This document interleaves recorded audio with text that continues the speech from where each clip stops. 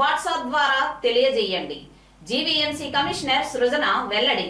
Greater Visakha పరిధిలో ఉన్న సమస్యలను తెలుసుకొని వాటిని పరిష్కరించేందుకు వీలుగా జీవీఎంసీ కమిషనర్ సృజన మరో సంచలన నిర్ణయం తీసుకున్నారు. నేరుగా ప్రజా సమస్యలను తెలుసుకునేందుకు వాట్సాప్ టోల్ ఫ్రీ నంబర్లను ఏర్పాటు చేశారు.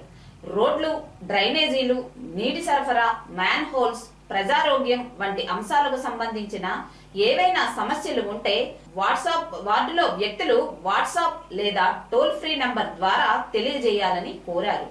ఇప్పటికే ట్విట్టర్ ఫేస్బుక్ వెబ్సైట్లు అందుబాటులో ఉన్నా ప్రజలు ఎక్కువగా వాట్సాప్ను ఉపయోగించడంతో దీనిని అందుబాటులోకి తీసుకొచ్చామని కమిషనర్ సృజన తెలిపారు. దీనిని ప్రజలు సద్వినియోగం చేసుకోవాలని కోరారు.